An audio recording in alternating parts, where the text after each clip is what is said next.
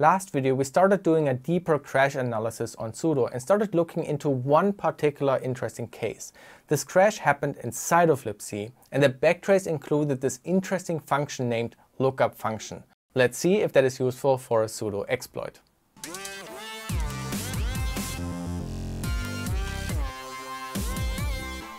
Looking through the crash information from the fuzzer, specifically those which show NSS lookup in the call stack of the crashes, we can notice different places that ended up crashing in NSS lookup. One is called within some sudoers policy check get group ID lists and the other one is also sudoers policy check but more specifically in check user looking for some patterns in the heap analysis info, it's noticeable that one crash always had the same objects lined up, while the other crash had a bit more variety with the objects. Currently it's unclear which of these objects, if any, is the cause of the crash, but if we take a test case from the check user stuff, we seem to have a lot more consistency. The crashes had all the same objects there and I prefer that because heap stuff can be frickly and this seems to be more reliable. So let's load one test case into GDB with our POC helper script. Here we break at the overflow location. So let's continue and run into the crash. In this case, we crashed in a string compare coming from NSS new service, NSS load library, and NSS lookup. This is not the whole trace though. With BT or backtrace, we can see the complete one. It all started in sudo main, which called policy check, then sudoers policy check, check user, sudo auth init, sudo passwd init, sudo set spend, and then we leave sudo and head into libc. You can see how the address significantly changes and also the file path is not a known sudo source code file anymore. Quick interruption for a public service announcement. When I encounter a function I don't really know, I really like to use grep.app to quickly look up example usages. And when looking for setSpend, we can see, for example, the snippet of code, which first calls setSpend, followed by a loop over getSpend. And in the man page of setSpend, we can read the getSpend function returns a pointer to the next entry in the shadow password database. The position in the input stream is initialized by setSpend. So setSpend initializes somehow the shadow database, so getSpend can read entries. So this is basically code to interact with etc shadow. It seems like we want to get the etc shadow information of our current user, and that makes sense for sudo. We probably want to check the password the user enters for sudo. Now let's dig into the libc code. First of all, we have to know the libc version, which we can find with ldd version or executing the libc library. It doesn't do much, but it shows the version. So we have 2.31. Then I'm using the Elixir code browser to easily navigate the code. First, I try to find set spend as a file, but only found getspend.c. And in there, we only see a define for setfunc name setspend. Let's remember setfunc name and that the database name is shadow. Also, it includes NSS getxxend.c. So let's follow into getxxend. There is a function getFuncName, but that function is weird. I don't think it's related. So I went back and searched for setfuncName directly. And we can find a getxxend underscore r.c. No clue how that relates, some C magic, but in there we can find setfuncName as a function. And looking into the call trace, we can see that we call NSS setEnd, which is also called here. So this seems to match. And this function takes in the name of our function, so set spend. We can also have a quick peek into GDB again, going down the call stack. Here we call NSS setEnd, and as expected, the first parameter is the string set spend. We can also look at the other structs, for example, NIP, but no values there that we have overwritten. Anyway, so we know the function nsssetEnd is defined in getNSSEnd underscore r.c. And we know that next we call setup. Setup is called with the function name again, and it says here cycle through the services and run their setxxend functions.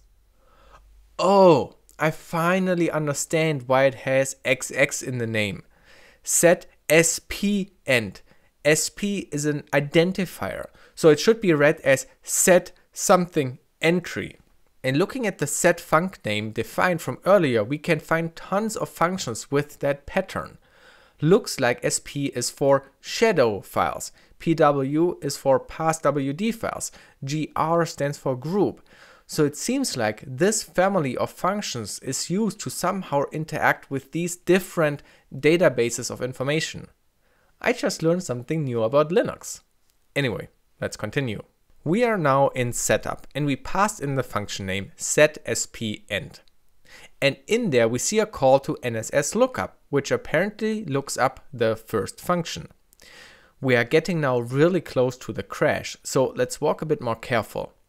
This function calls NSS lookup function quite a few times, and I don't know which of the calls resulted in the crash, but all of these calls take the function name and the server's user pointer pointer. So let's look closer into what this service user struct is. It seems to be a linked list as it has here a pointer to the next entry. Then we have some lookup actions, no clue, and then we have a link to the underlying library object, as well as the name of the service like files, DNS, NIS, and more. The file we are in right now is called nsswitch.h and these names actually relate to the values from etc nsswitch.conf. Let's have a quick peek at this file. NSS stands for Name Service Switch, and to be honest, first time for me learning about this too. It's interesting. For example, passwd functionality is offered by files, a file. That's why there is the etc passwd file that is the underlying source for the password information. If you, for example, would have authentication not implemented with the passwd and shadow file, and for example use LDAP, then you replace it here. In sudo, as a software that has to check the user authentication, asking for the password has to obviously look up, hey, where can I find passwd and the shadow data for users? In a basic Ubuntu system, it will be provided by these files, maybe systemd, but if you have a central user authentication via LDAP, it will be provided via LDAP. And all of this is handled by these NSS functions of libc. sudo doesn't have to implement all of that logic, it simply can ask with libc functions for a particular user's data. Amazing! Anyway, now what is this service library struct? So this contains a name of the service and a pointer to the loaded shared library, as well as a pointer to the next service library. Cool. Now let's go back to the code. We now call one of those NSS lookup functions with the function name setSpend and the pointer to the first service user entry. Here it is. Let's read briefly over this code.